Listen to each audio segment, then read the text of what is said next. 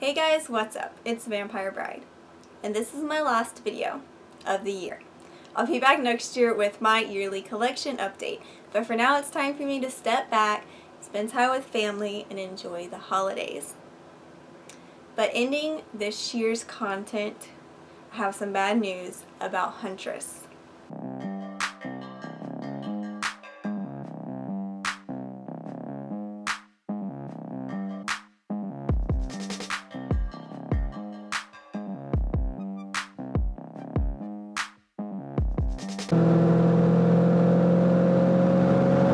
After changing out Huntress's radiator fan and radiator, we thought we had solved her overheating problem.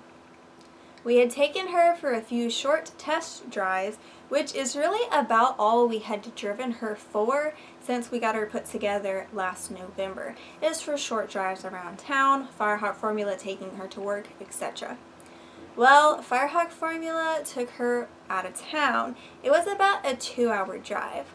The drive there was uneventful. It went fine, but the drive back was a different story.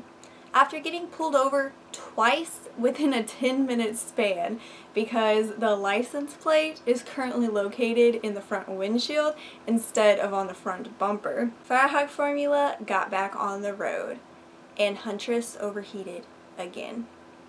This was a hard blow as we really thought we had fixed the issue. He let Huntress cool down and made it home safely. Our first thought was that she had blown a head gasket, but we were hoping and praying that we were wrong. There was no white smoke, no oil in the water, and no water in the oil.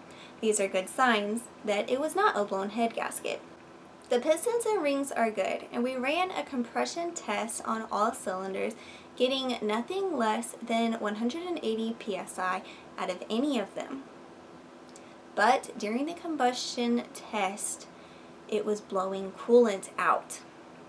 So we didn't even bother with a leak down test. A leak down test runs air into the cylinders, measuring how much is lost, and is the usual test for testing whether or not you have a blown head gasket.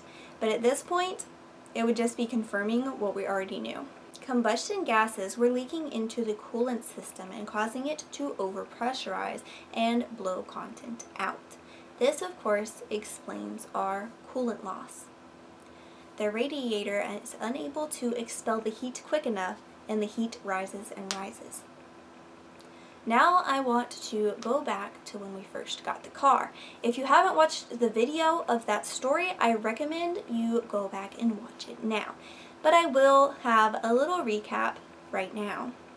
The guy we bought the car from was originally just selling the motor as he wanted to coyote swap the car. Then soon after we saw that he was also selling the body of the car and we bought that as well to put the motor and transmission back in. It seemed to run and drive nicely as he said it would and it was a clean 73,000 mile car. But there was one thing we just never understood.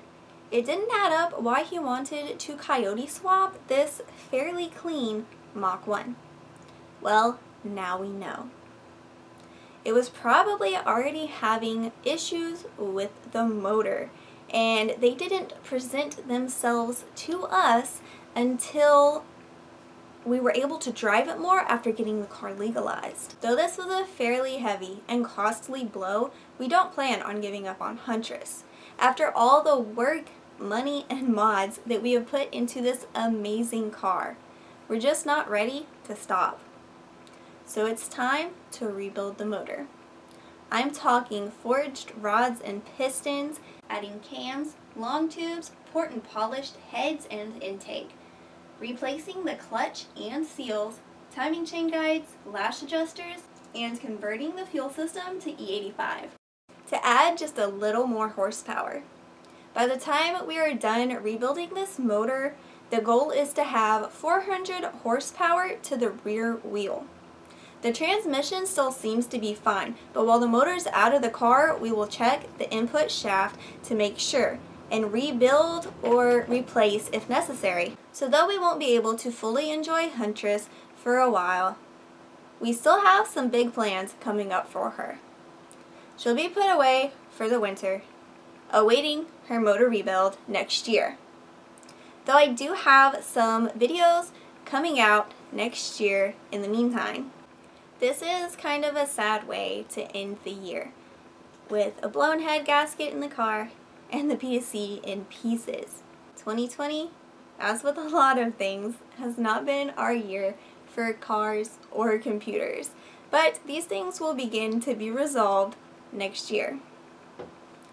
As we have many plans for Huntress and the computer as well who currently does not have a name because after all the components replaced and not being in a case, it is time for a new name. Well, that's all for today's video. I will be back next year with my yearly collection update where I show all of the pieces, games, and collectibles that we have collected throughout the year and talk a little bit about a select few of the items. I hope you guys enjoyed the video. If you did, hit that like button and of course subscribe for more videos to come. Happy holidays, Merry Christmas, Happy New Year.